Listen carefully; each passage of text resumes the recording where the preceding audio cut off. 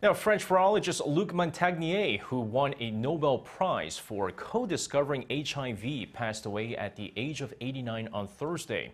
Years before the onset of the AIDS epidemic, Montagnier made significant discoveries concerning the nature of viruses and contributed to understanding how retroactive viruses can alter the genetic information of host organisms.